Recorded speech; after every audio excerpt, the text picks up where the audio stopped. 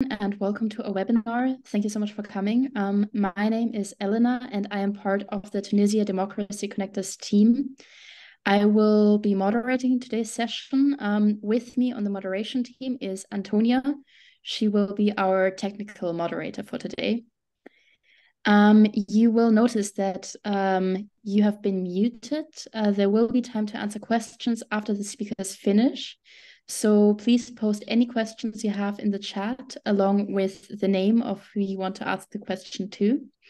And Antonia will read them aloud during our discussion round at the end. Uh, now, before I introduce our speakers, I would like to say some words about the project behind this webinar.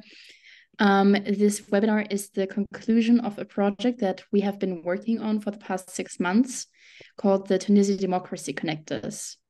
Uh, the project connect, uh, consisted of four trainees, uh, three of which are here today. Um, the topic of the project was to highlight the lived realities of uh, LGBTQ individuals in Tunisia where democracy is in crisis and being queer is punishable with up to three years in prison. And now, while the first three months of the project went according to plan and consisted of organizing events, which took place in Cologne, the second part of our project went quite differently than we expected.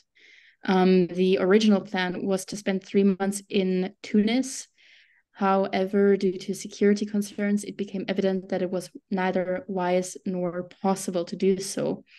And so instead, we spent some weeks fundraising, and thanks to a number of donors, we were able to restructure our project and travel to Stockholm and Berlin, where we interviewed activists from different countries of the MENA region, um, living in exile, two of which are also here with us as speakers today. The resulting interviews were filmed and will be uploaded to Democracy International's YouTube channel in the coming days.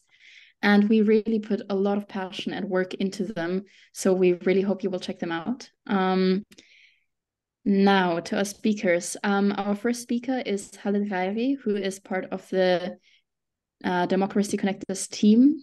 Um, Khaled is a queer rights activist from Tunisia um, where he worked with both our partner organization IARF, the Intersection Association for Rights and Freedoms, and DAMJ, which is North Africa's oldest LGBT and human rights organization. Khaled will talk about the interviews that we conducted, as well as about the political and human rights situation in Tunisia today. Um, Khaled will then be followed by Caroline Vernaillen, who has been our mentor throughout this project and who will uh, who is responsible at Democracy International for public relations and global community building. She will talk about direct democracy and the tools of democracy, as well as about Democracy International as an organization, which most of you will probably already be familiar with. Then up next is Haifa Safa, who is one of the activists that granted us an interview in Sweden. Haifa is an activist and actress from Lebanon, um, has lived in Tunisia and Turkey, and we'll talk about the political as well as the situation of the civil society in Lebanon and the backlash of the terrorist attack on the LGBTQ society there. Then our fourth speaker is Hamza Nasri, who is a co-founder of our partner organization IARF, and the second of our interviews present today. Hamza lives in Stockholm and will talk about IARF and one of IARF's most important projects, Freedom Faces. We also additionally have an expert with us from the academic realm, uh, Mr. Joseph Matthew Debono from the University of Malta. Um, among his specialties is Tunisian democracy, and he has joined us on a very short notice. So thank you, Mr. Debono, for being here today. Um, he will participate in the discussion and perhaps also be able to give us some additional insights into his work.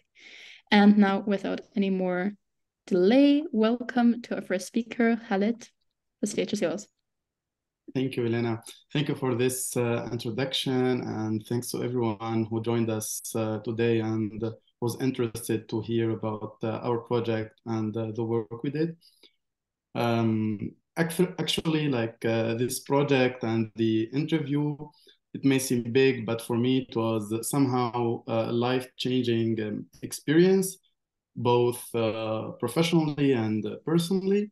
And as you mentioned, we couldn't conduct the second phase of uh, the, the project in Tunisia, unfortunately, as originally um, intended. But um, we can say we didn't give up because the, people who worked on the project on the, on the ground know all the circumstances around the, the project and how the project evolved from being in Tunisia to the second part in in Germany. And if I may share like some personal stuff, I, I still remember the day me and Elena walking on the streets and we came up with this brilliant um, idea, if I may call it brilliant, to interview activists um, in uh, in exile. And um, yeah, here is the idea coming to to be uh, a reality now.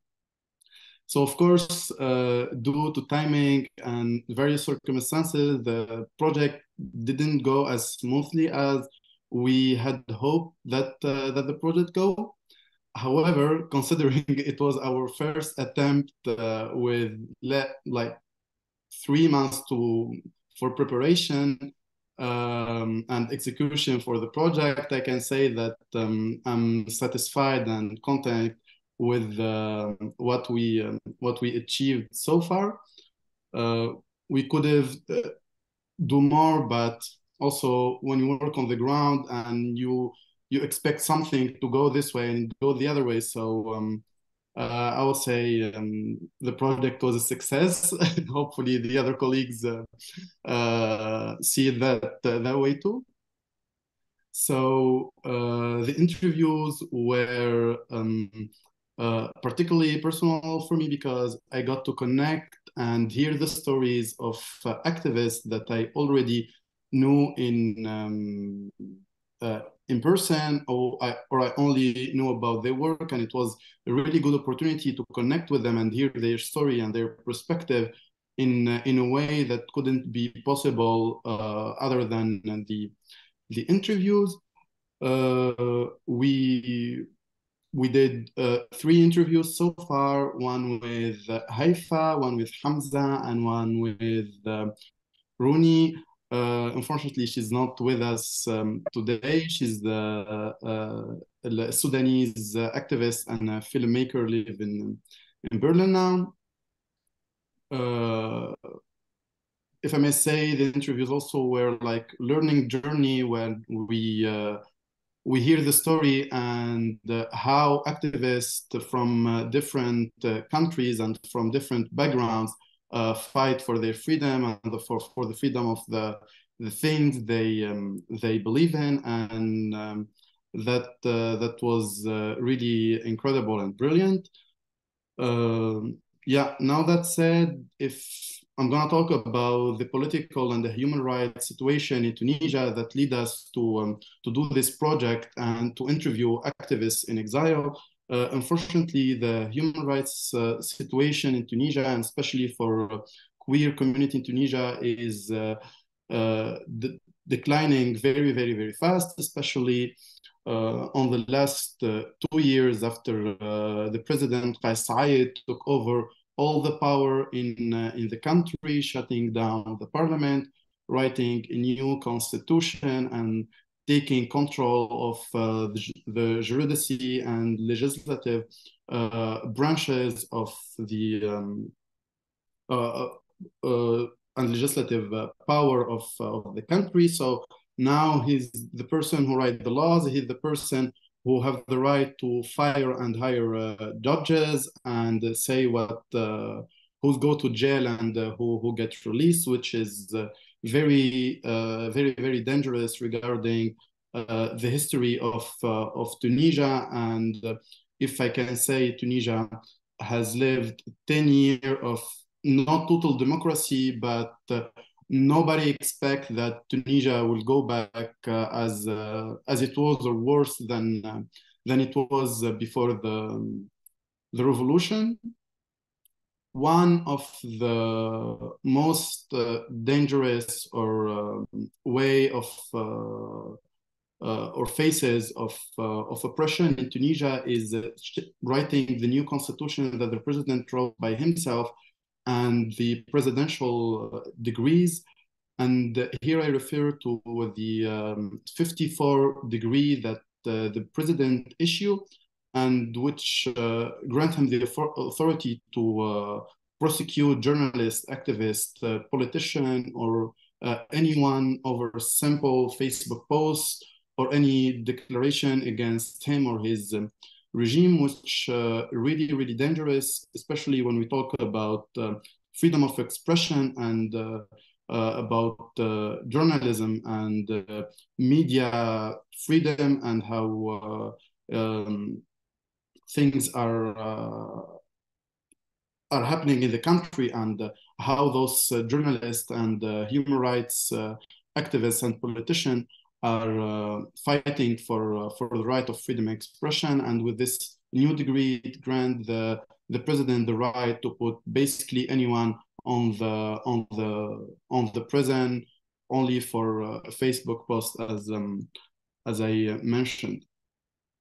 Uh, even more concerning uh, in the new law regulation uh, that regula regulating sorry the civil society organization uh, and the like that forbid uh, foreign funding for NGOs. Um, so in Tunisia, uh, there is a degree that uh, regularize the work of civil society that was issued on 2011 after the revolution, which is most of uh, civil society organization in the country uh, work under this um, this law. But now the president want to uh, to write a new one, and the danger of this new law that it will uh, prevent uh, civil society organization and especially queer organization from working and um, advocating for the right of the communities that they fight for and which will cut uh, foreign funding to those um, NGOs which is the only mean of, uh, of funding in, um, in the country, and um, prosecute those organizations and uh, activists uh, for conspiracy uh, uh, complaint or something like that.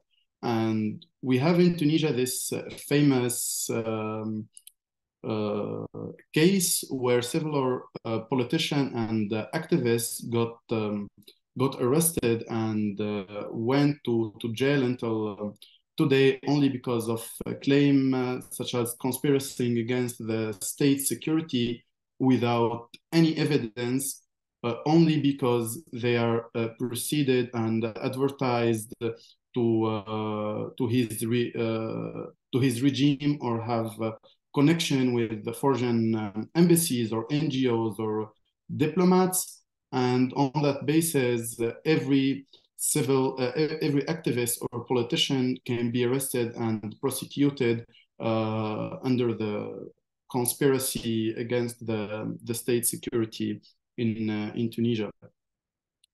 Um, yeah, I don't want to take a lot of uh, space, but overall, this is the, the situation of um, the political situation of the civil society in, in Tunisia now and we hope by um, the interviews we um, we did to uh, to give more voices and more platform to those activists to continue the work they um, they used to do in their home country while uh, they're in exile now. Thank you. All right, thank you, Khaled. Uh, with that, um, we'll hand over to Caroline. Yeah, thank you very much, Elena, and thank you, Khaled, for um, for that introduction. Um, I was asked to speak very briefly about the work of Democracy International, and I really want to keep it brief because there are so many people here who do such interesting stuff all around the world. So we really want to give them as much time as possible. Um, I really just wanted to to frame this discussion a little bit. So um, Democracy International is a German-based NGO, um, but we are active worldwide.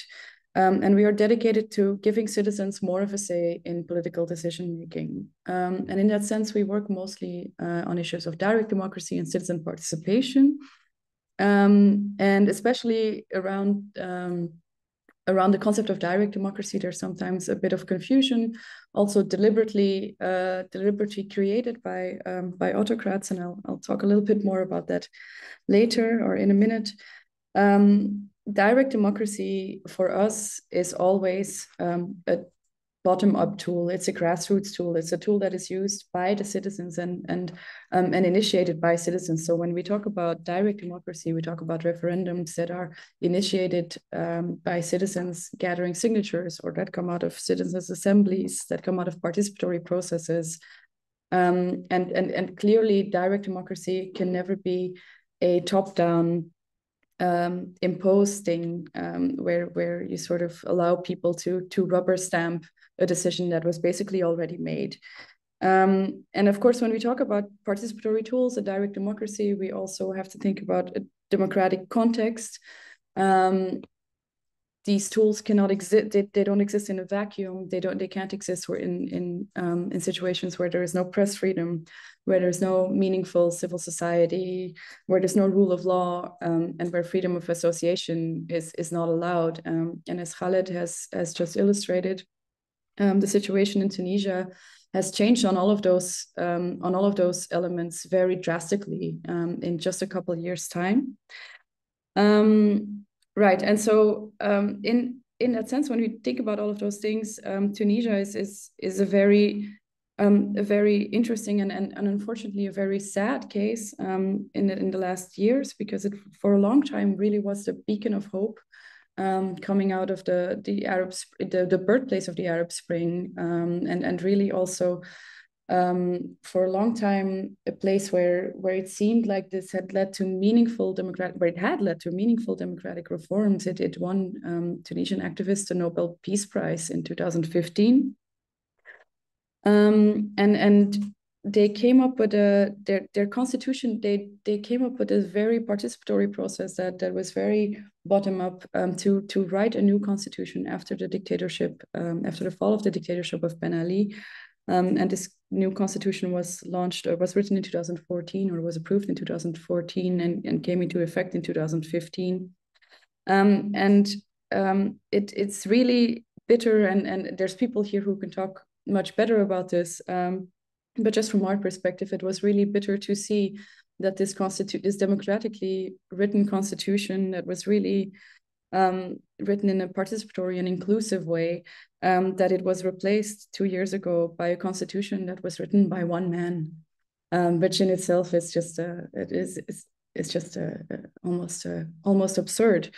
Um, and uh, and of course there there was a referendum to validate this constitution, which um, which also was was just i mean to call it bad practice was is also is is just it falls short of of um, it's it's really a, a, an um, something that we should condemn.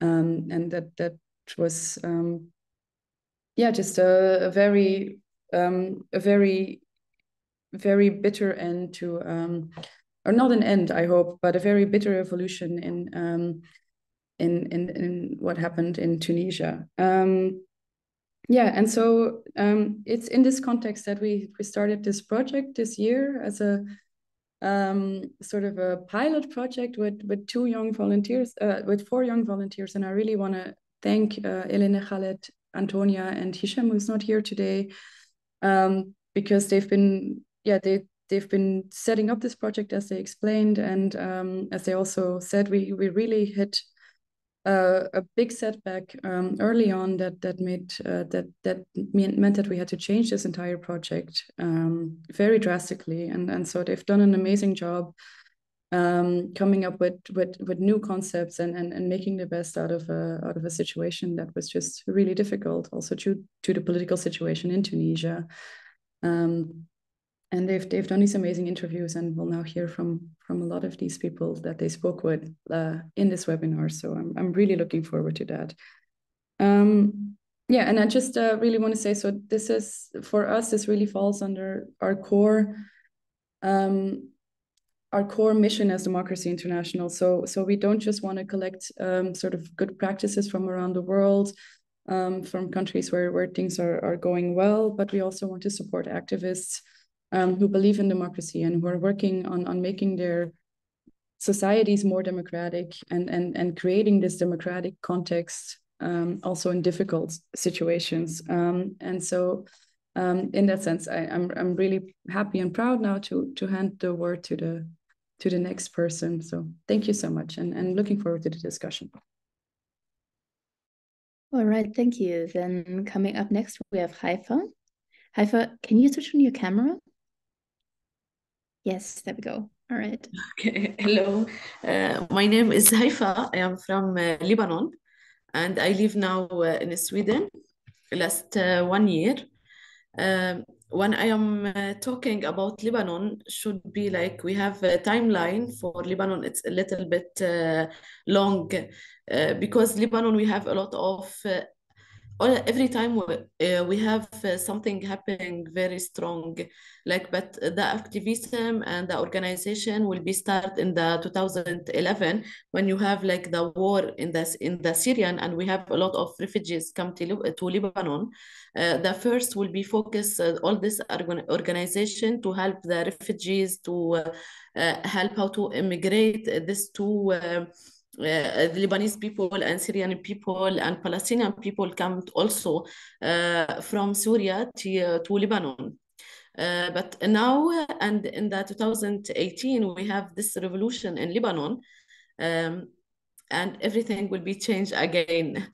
Before this, we have a little right uh, for the talking, for the journalist, uh, a little bit for the LGBT community. It is still a crime in Lebanon, but we have like a little bit right to walk in the street, to talk, to uh, put, um, to have like some places. It's very. Uh, um, especially for LGBT community, we have one organization in Lebanon uh, work for the right for LGBT community, but be like after the revolution everything everything in lebanon is a change and will be bad and bad and bad.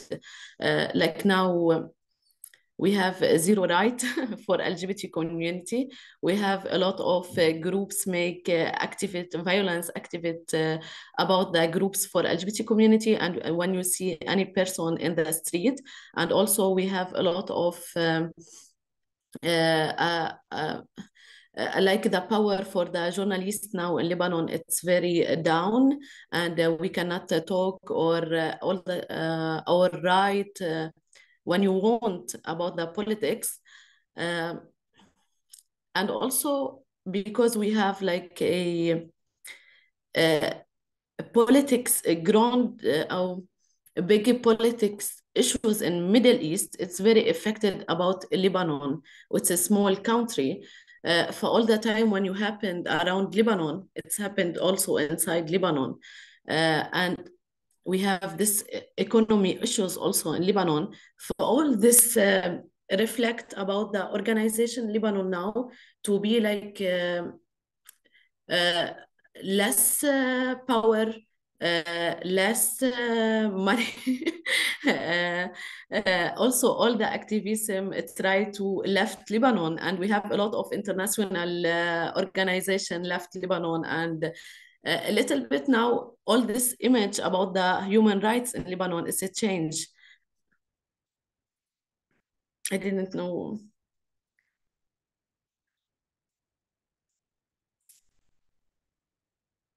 Yes, we hear you, Haifa. From my side, um, I hear you. Ah, okay. uh, so when you're talking about Lebanon now, we have like before 2018, they didn't have any um, uh, any violence action about the activism. But now we have a lot of violence uh, violence action.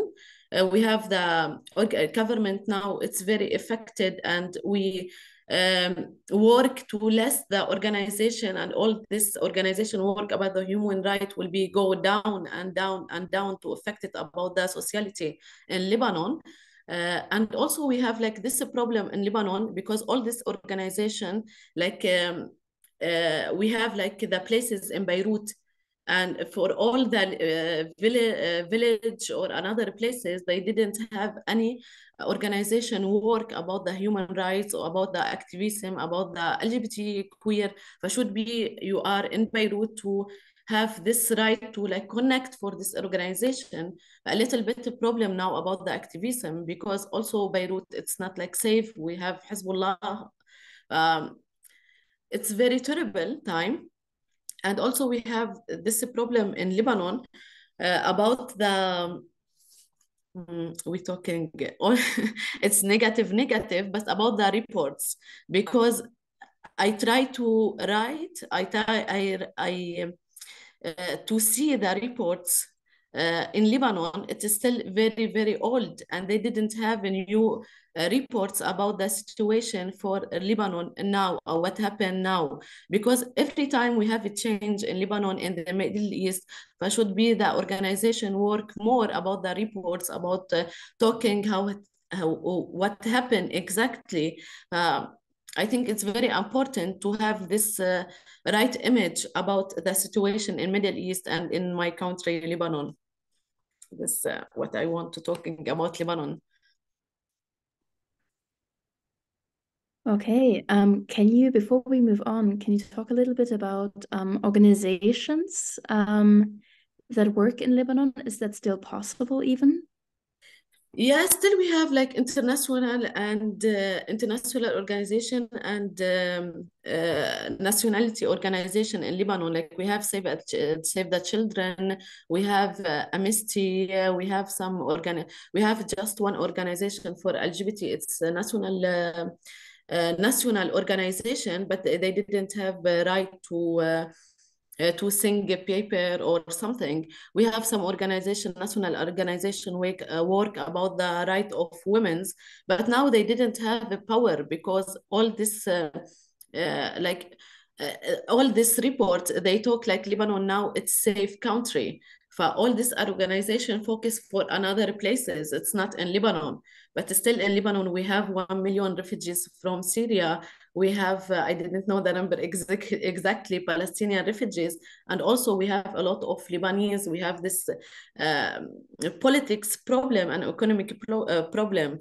What happened now this organization it's not focused about lebanon focus for another places uh, another places. This make the uh, what we can talk uh, they didn't have activities or we didn't have uh, a right program about the children about the uh, women's in lebanon. Still they have a lot of women still um, uh, still they have a lot of children. They didn't go to the school.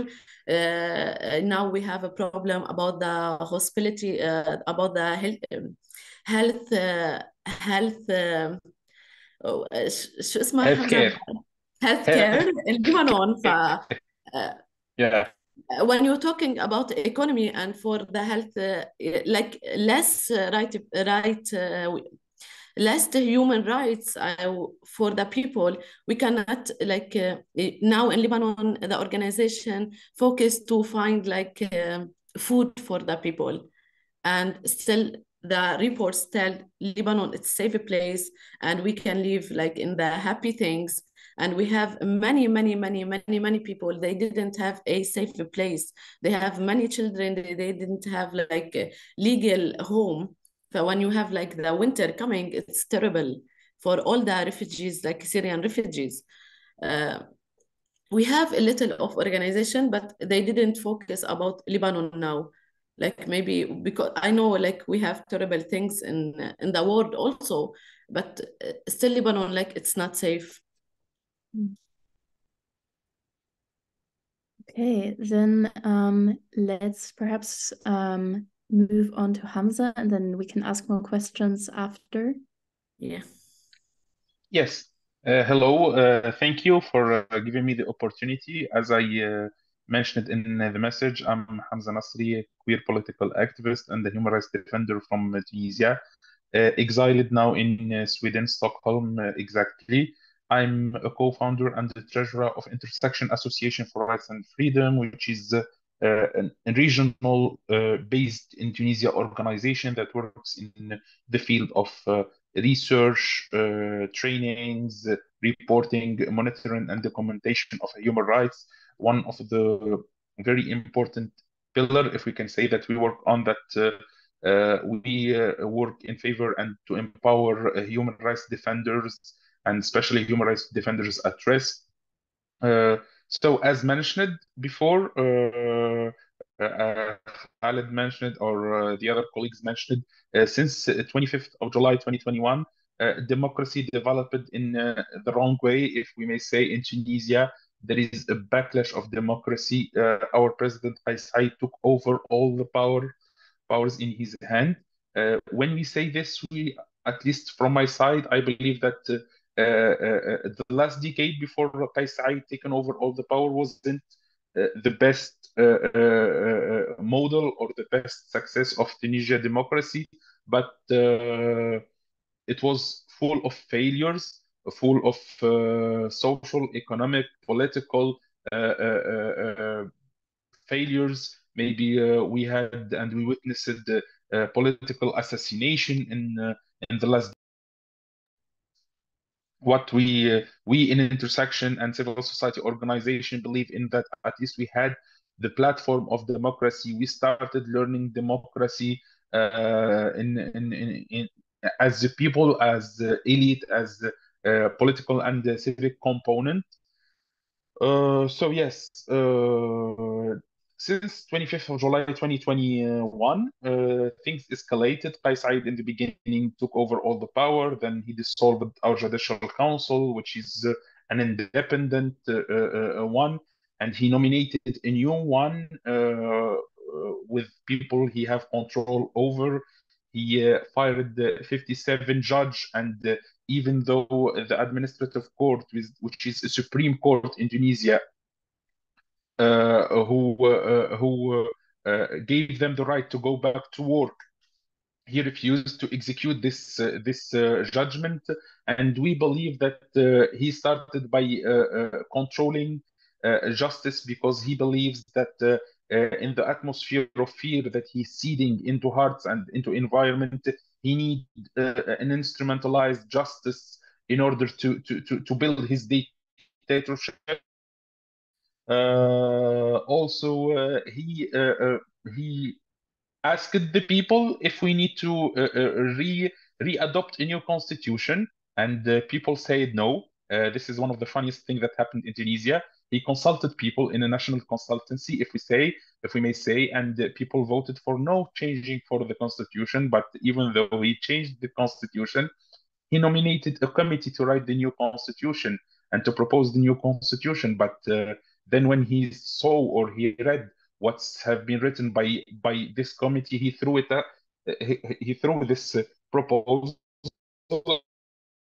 He brought uh, a new proposal written by him, and it was very dramatic. And the constitution from his jar in the front of everyone in the media, and proposing a, a new constitution in the last two days before the national consultancy people do not do not uh, uh, vote for in favor and in favor of this new constitution. But even though he adopted this new version of the constitution, since what's alarming now and what's uh, what's a little bit uh, concerning and frustrating now, maybe more than the other things in Tunisia, that since eight months in February 2023, Uh, Kais Saied uh, persecuted, uh, if we can say, the first or the leaders of the political parties in Tunisia, uh, from the left to the right.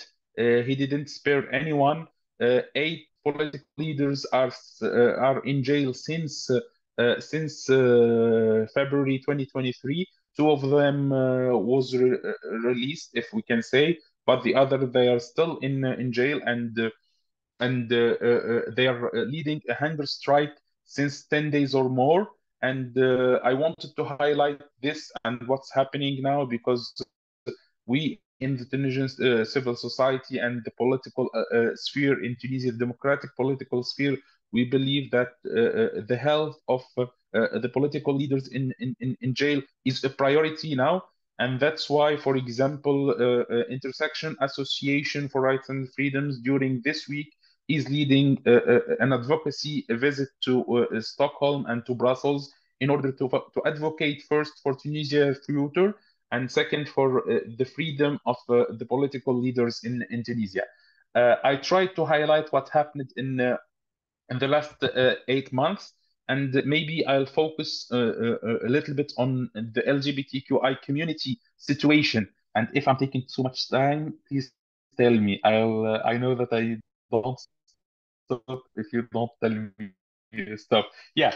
So uh, the 110 year of uh, of uh, criminalization of queerness and homosexuality in Tunisia. 110 years ago, due to French colonialism, we adopted a law criminalizing homosexuality in Tunisia and condemning it with three years of jail, five years of uh, of uh, exiling from the city that you were caught in, and uh, you may be uh, fined also uh, with a fine. It's up maybe to five thousand dinar, which is uh, one thousand three hundred euro yeah, we contextualize what's happening, that we had uh, uh, big steps in the last decade in terms of uh, queer rights in Tunisia. But what happened with the, the new development in democracy made us unable to achieve more successes. But now we're trying to maintain what we already achieved. This is the point when speaking about the uh, because I remember before the 25th of July 2021, we were speaking about decriminalizing uh, uh, homosexuality in Tunisia. Now our strategy is based on how to support legally, psychologically uh, uh, uh, uh victims of a human rights violation, of anal test, of arbitrary detention on, on, the basis of gender expression or sexual orientation this briefly the situation of queer community in Tunisia. I may add uh, only one number. Uh, we uh, we asked the higher instance for jail and reform in Tunisia to give us numbers about uh, numbers of detainee uh, uh, on the ground of the article 230 since the revolution until this year, and it varies between 100 to 120 every year are caught in jail because of their Uh, gender identities, identities or sexual orientation. Uh, this is uh, when speaking about uh, queer rights in Tunisia. Uh, I may highlight also our main project within intersection, which is Freedom Faces. Freedom Faces is the first platform, open source data and open data accessible for academics, students, lawyers, uh, NGOs, international NGOs and national NGOs that allow allows people to track, to to follow on human rights violation monitored and documented by by our uh, staff and team in Tunisia. It's uh, an updated uh, uh, uh, database that is accessible for everyone, and we believe since we started Freedom Faces and we launched Freedom Faces until now, we developed a lot uh, we, uh, if we may say, we uh, conducted lots of changes on terms of our methodology and in terms of our public public that we we cover. And now uh, we believe that uh, Freedom Faces it's one of the main sources of information in Tunisia. And uh, when we say information, we, we mean uh, correct, uh, scientific, uh, neutral way of monitoring and documenting a human rights violation. Yeah, if we say reliable, yeah. I don't know if I gave a clear idea. If, if, there is any question, I'll be happy to answer. Mm -hmm. Um, thank you, Hamza. Uh, we'll move on to questions in a little bit. Um, I uh, yeah also just wanted to throw something in there like um we've talked a lot about queer rights um just now and um everyone who's familiar with Democracy International's work knows that the main focus of Democracy International is of course democracy. Um the thing is that um the most potent indicator for whether a country has um, queer rights or not is not cultural or economic factors, which are often discussed, but actually uh, what political system a country has. In fact, um, most countries that criminalize homosexuality um, have a rather low score on the democracy, like the Economist's Democracy Index. Um, and it's also noticeable that in places where democracy stalls or is backrolled, um, or were the third wave of um, democratization, like the wave that happened during the last quarter of the 20th century, stalled or didn't quite happen. Um, one example of this is Russia. Um, queer rights are um, rather poor, let's say. Um, but yes, um, before we move on into the discussion round, I wanted to ask Mr. Debono, would you like to tell us a little bit about your work? Um, sure. Can you hear me? Okay. Um, well, basically, what, uh, what's well, I have to hold my hands up. Uh, as noble a cause as it is, and, and as interesting as it is, um, LGBTIQ issues are not what I concentrate on. Um, um, what interested me um, is basically I saw through my own preliminary pilot research, but as well that was consolidated by other research that came out. Uh, Arab Barometer is one of them, for instance. Um, I was pretty surprised to see that um, upon his power grab, Kais Saied um, was was seemingly backed by a large segment of the Tunisian electorate, and um, that brings a lot of questions about the notion of democratic responsiveness, and that's what I'm looking at. Um, basically, uh, that tells me that the you really have to make a distinction between you really have to make a distinction between types of democracy, or else um, different ways that that people look at democracy, right? Um, uh, some people view democracy in terms of its institutions as a product of, of, of its um, various institutions like um, civil rights and uh, civil and political rights and having a democratic constitution and having free and fair elections and so on and so forth. But we've seen time and again um, uh, countries that have all that in place.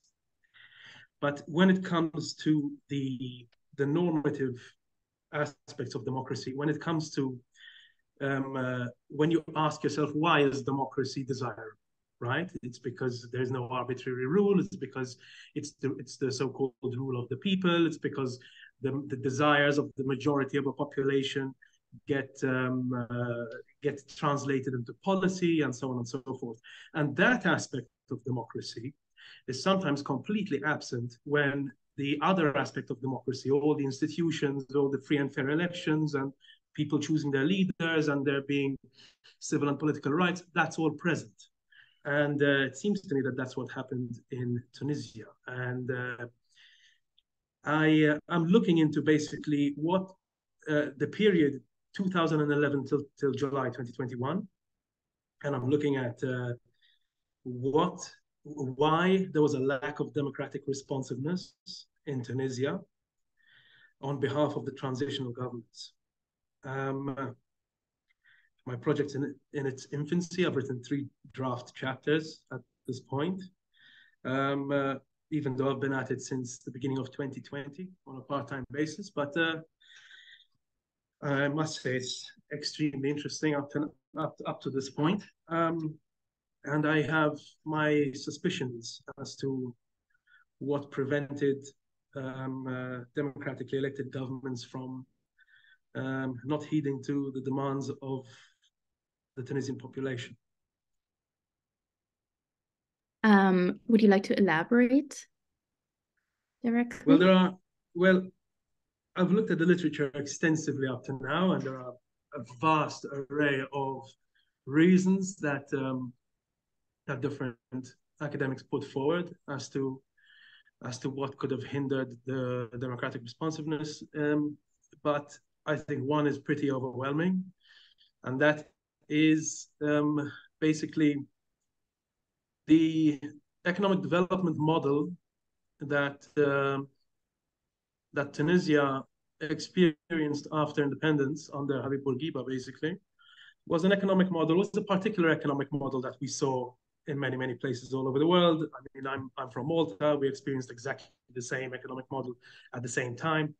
Um, uh, it's called an import substitution industrialization. Okay, it's an it's economic model that in which um, there's basically heavy heavy investment from from the government into health, into education. There, there's there's develop, economic development spurred by the government internally, right? Um, that all changed basically when when when Ben Ali came to power. I mean, it it, it the infitah started the, the opening up um, started under Bourguiba in the last years of, of Habib Bourguiba, but um, intensified under Ben Ali. And in fact, there was the first um, uh, structural adjustment program signed under the auspices of the IMF, the International Monetary Fund, just before the the non-violent, what they call the medical coup, when Ben Ali came to power, basically. Um, now, the economic model, that changed Tunisia's economic model from one of import substitution industrialization to uh, basically a neoliberal economic model of export-led growth, you know, um, uh, eventually in 95, then Tunisia was heavily tied to the European Union and so on and so forth. So to cut a long story short, because I'll, go on forever, okay? Um, to, the, there, was an, there was a particular economic model in place in Tunisia from 1987 up until basically um, 2000, the end of 2010, 2011, which is when when uh, when the uprisings took place, um, which many have come to say, many economists, many activists, many many many academics have come to say is what actually led to the situation that um, that spurred the uprisings to begin with. Um, that economic model uh, was not changed. I mean, in the beginning, when when when Nahda was was vying for power, had, there was no elections yet. You know, there was still um, uh, Essebsi as interim prime minister. So in the period between between the uprisings and October 2011, when the NCA was elected, um, so there was a period. That was a period which which in, in which the fate of, of, the, of the country in terms of its econ economic model uh, was already written. Prior to any election having taken place, um, there was a, a, very important deal signed um, called the, the Jasmine Plan um, with uh, a number of international donors. Okay, the, the, the, G8, all of them, the Gulf states, and there was an, uh, the IMF, the, the World Bank, um, which basically ensured that the economic model that was present from 1987, you know, for, for 20, 23 years it is, for 23 years prior to the uprisings, does not change, remains in place. In fact, is, is intensified rather, you know. And that economic model makes the well, satisfying the, the, the main socio-economic demands of the Tunisian people impossible. It's not conducive to those uh, to those kind of to satisfying those kinds of demands. So that's uh, not set in stone. It's not a fact. Um, that's my opinion. In fact, it's my hypothesis, and uh, that's what I'm investigating really. All right, thank you. Um, there have been no questions posted in the chat yet. Um, I do encourage you to do so, um, all of our participants, but until then, I'll just go ahead and ask some questions. Um, let me scroll through my notes. Um,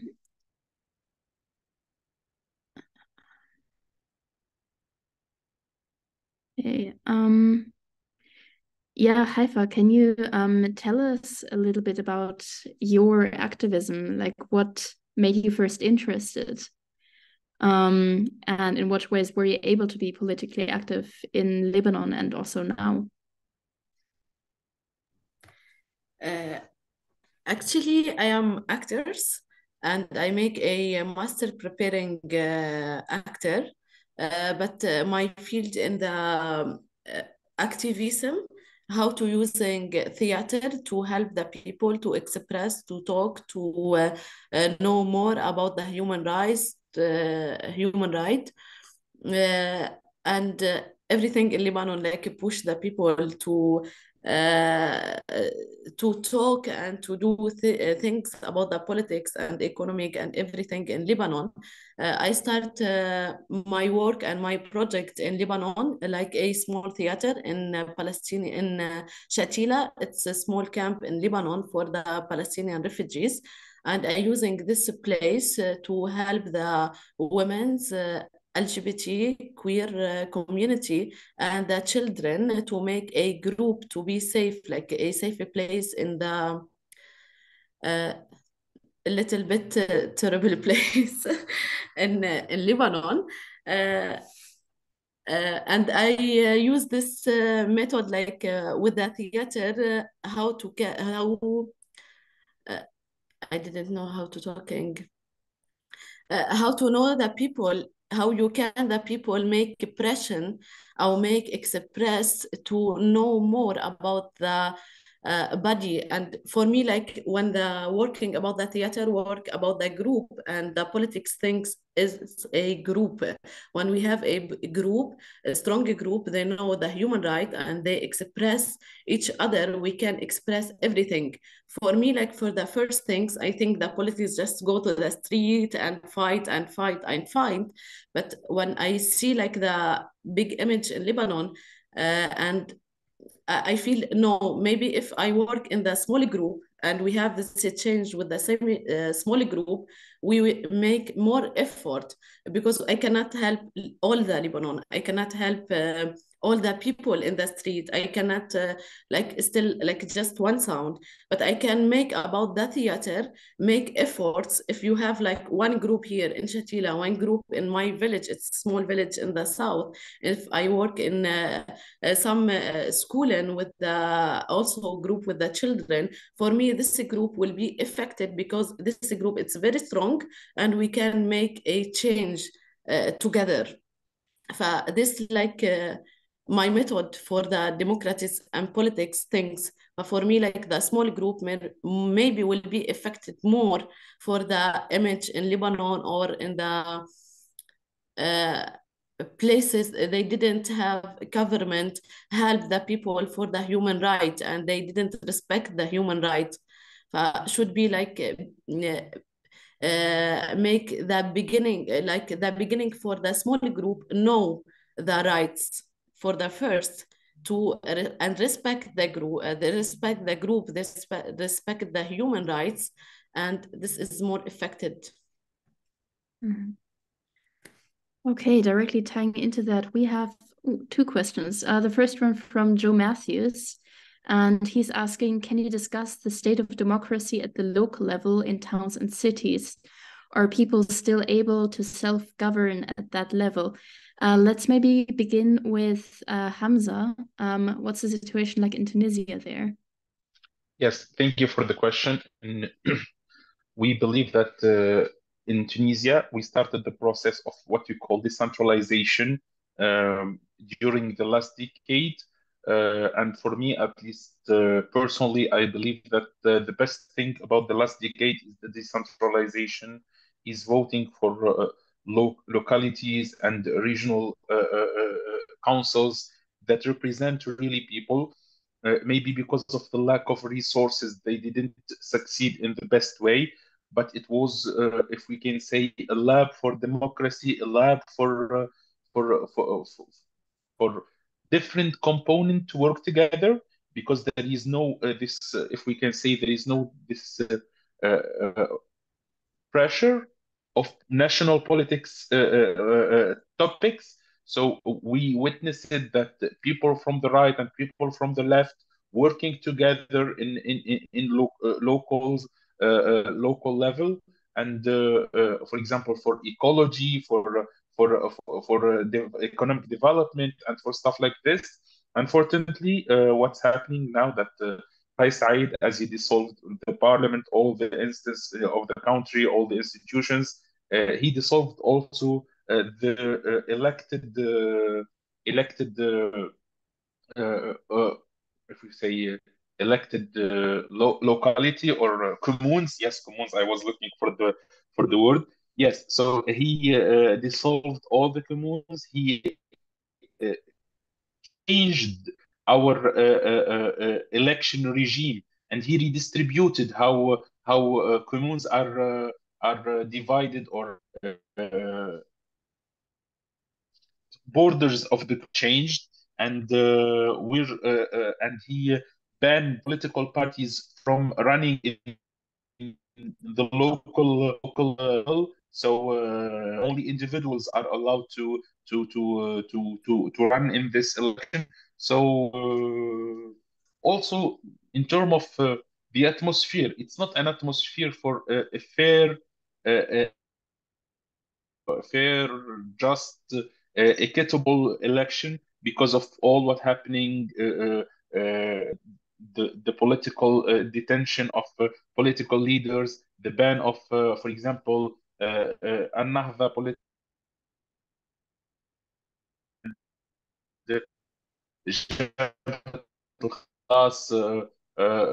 so I think on the local level, uh, people engagement toward democracy and uh, uh, in favor of democracy shrinked as like all the civic space in Tunisia shrinked since 2021.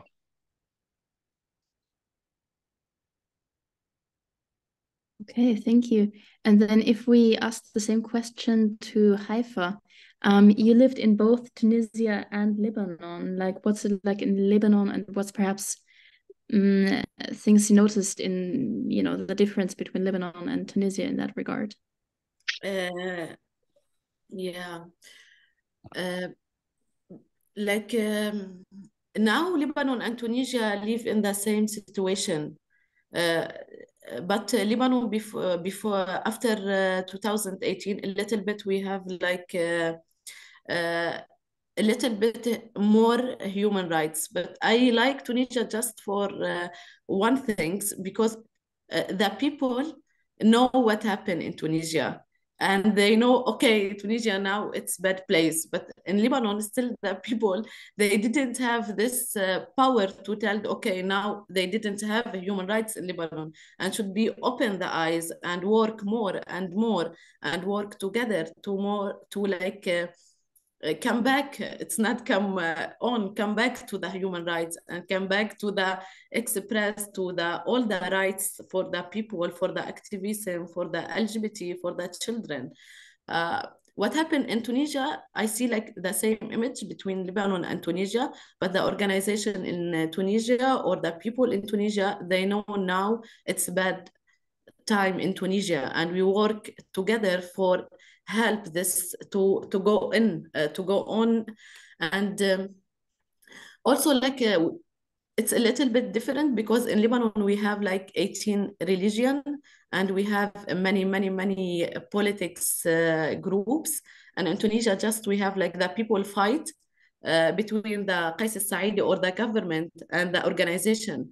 And when in Lebanon, they didn't know they have many groups and we cannot like just they did we cannot like just fight the government should be uh, fight the government fight the church fight the religion fight uh, everything to like uh, to have like the same right for all the people because if you are Lebanese and you are Muslim or you are Druze or you are Christian, it's different. It's not the same for all the Lebanese. They didn't have the same right. They didn't have the between the government. A little bit in Tunisia, all the people the same, and just we have like problem with the government. This a little bit help to understand it. Just. Okay, thank you. Um, since there's been no more questions, I'm just going to go ahead and ask my own. Um, um, so this seminar is a webinar is also called uh, so Direct Democracy and the Role of the EU. And especially with Tunisia, there's been a recent development, namely a migration deal between the EU and Tunisia, which was mainly supported by Meloni in um, Italy's right-wing um, president. So um, uh, Hamza, could you talk, or um, also Mr. Debono or Khaled, could you talk a little bit about that, um, about that deal and what it means?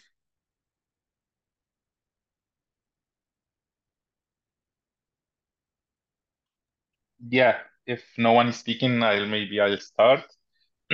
uh, as I mentioned before, uh, this week, Intersection Association, uh, in partnership with the Tunisian League for Human Rights Defense, which is the oldest and biggest organization in terms of human rights defense in Tunisia, and the Nobel Prize winner in 2015, uh, among other uh, civil society organizations such as the Tunisian Association for Democratic Women and Tunisia Young Leaders and other organizations are uh, co uh, co-leading uh, a visit advocacy visit to Sweden and Brussels. And while we're speaking now, my colleagues are in meetings in the European Parliament and with the European MPs. And what why we're doing this because we believe that uh, yes, the European Union is the, the strategic partner of Tunisia, and Tunisia is a strategic partner for the European Union.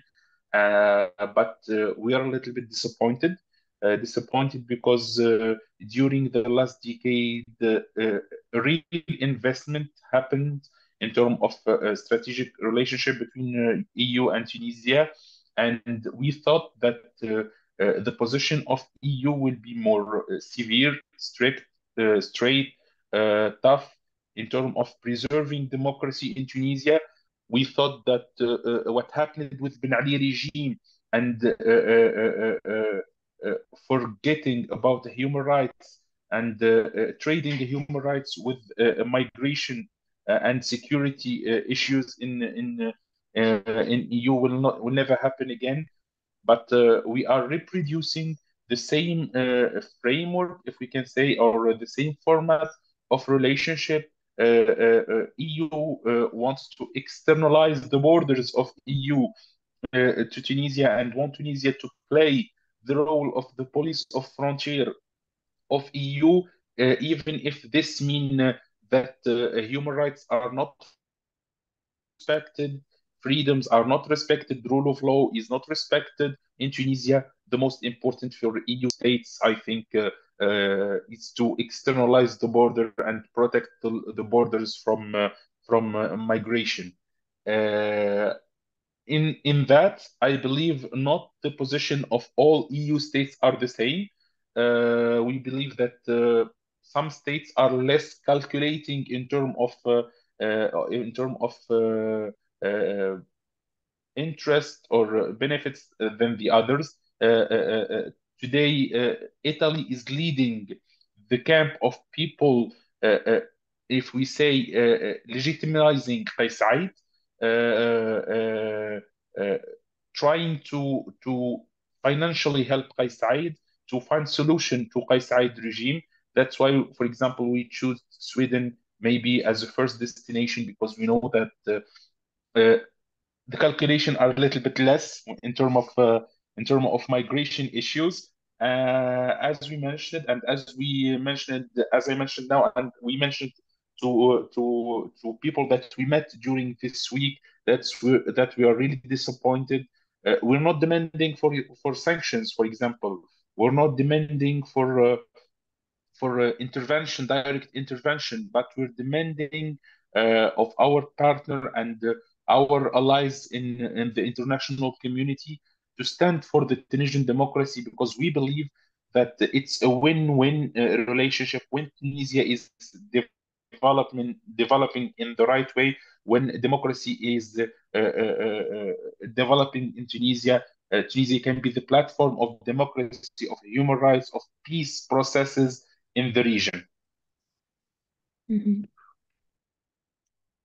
Thanks. And also on that note, um, there have been news, I believe this July it was, of um, sub-Saharan, mostly sub-Saharan migrants in Tunisia being um, deported into the desert bordering regions between um, Tunisia and uh, Libya, I believe it was. And um, 4,000 migrants, um, according to my memory, were just brought into the desert without food, water, or shelter. Um, personally, like I did follow the news um, for a while, but um, there wasn't so much reporting done here in in our uh, news cycles. Can you talk a little bit about that? What the what the situation on that was and the development? Yes, yes, I uh, yes. Uh, I'm a little bit ready for all the questions because during this week we was uh, answering all type of questions. So yes, in in in February of this year, uh, Said gathered what we call the National Security Council in Tunisia, and he claimed that uh, there is a, changing theory or agenda targeting Tunisia. Uh, Western countries want to exchange uh, the Arab Muslim people of Tunisia by Black African Christian people, and this uh, incited or uh, initiated something I don't know how to say it uh, in, in, in, in English, but in French we say chasse à la sorcière. Uh, it, it, witch campaign, hunt. witch hunt, yes, witch hunt against our brothers and sisters from sub-Saharan countries. We witnessed people living in the street, uh, houses bur burned, uh, uh, Uh, uh, people beaten, uh, even killed in some cases. Uh, people was were thrown in the desert in the middle of nowhere uh, uh, uh, just because of their color of, of, skin. One of the most frustrating things, for example, that Tunisian citizens were at, were attacked and displaced because they were black Tunisians. so we believe that uh, Kais Said have two narratives: narrative uh, for for for uh, for uh, European and a narrative for Tunisian or more than uh, this uh, because uh, because of what Kais Said and what his militia did for sub-Saharan African, the numbers of people illegally leaving Tunisia and heading to Europe and to Italy increased. the Tunisian Forum for Social and Economic Rights uh, monitored the increase of level of uh, and flows of uh, of illegal migration or irregular migration. Uh, uh, uh, that's why we said Said have two narratives. Narrative for Europe that he's protecting the borders, narrative inside that he should throw those migrants in the sea or push them back to their to their country. The situation of migrants it's very very very catastrophic in Tunisia. Since months, people are living in the streets. Uh, uh, uh, civil society organization are drained. To be honest, really, drained because of all the efforts that is done internally in terms of what's happening in Tunisia for Tunisian, but also for for our brothers and sisters from sub-Saharan countries. Mm. What is the general response of um, of Tunisians? Um, are people like what's going on there? Like, yeah, to be honest, uh, when speaking about the sub-Saharan migration uh, to Tunisia, I think uh, the common or the general atmosphere it's really bad and disappointing and uh, uh, make me at least me as a migrant to another country feel. I remember the first day when Kais Said spoke in uh, in the National Security Council was the first time I feel uh, afraid because I'm living outside my country. I was going back home and I was thinking, I'm living here in this country for a year and a half. I was feeling safe. I have never thought that locals may, for example, hurt me or target me or uh, beat me or whatever it happened. But this day I felt frightened, uh, afraid, and I was literally walking on the street and looking to my shoulders. I don't know why.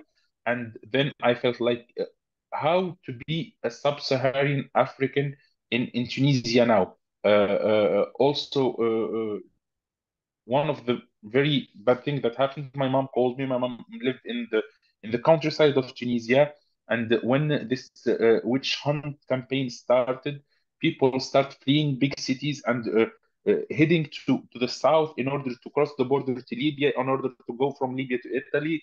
And they was walking on feet from uh, Tunis, Tunis or uh, Sousse or Sfax and everything. And uh, it's not a general general uh, model, but uh, mom tried to give some food and water for for people, and other people uh, banned her from doing this and uh, didn't allow her to do this. That's why we believe sometimes that Kais Said succeeded in seeding this uh, this seed of of fear, of xenophobia, of of hatred with his hate speech and uh, uh, negative stereotypes and all of that. So yeah, uh, from my point of view, I think that the general atmosphere is not in favor of sub-Saharan migrants in, in, in Tunisia. Yeah, that's sounds horrifying. Like also speaking as um, a German, like that sounds horribly familiar. Um, does anyone have a question they would like to ask also from the team?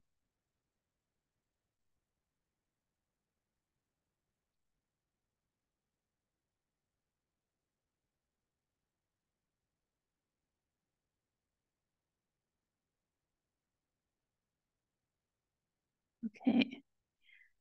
Um, I'm scrolling through my own questions here to see if there's anything open. Okay. Um, I believe then perhaps we can wrap it up.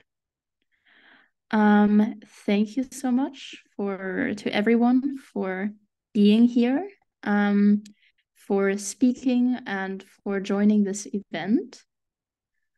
Um, yeah, I wish everyone a yeah, a beautiful evening and a good start into the weekend as well. Um, and then, all right. Thank you for the opportunity and hope to see you. Bye. Okay, thank you. Thank you, everyone. Bye. Bye. Thank you. Bye bye.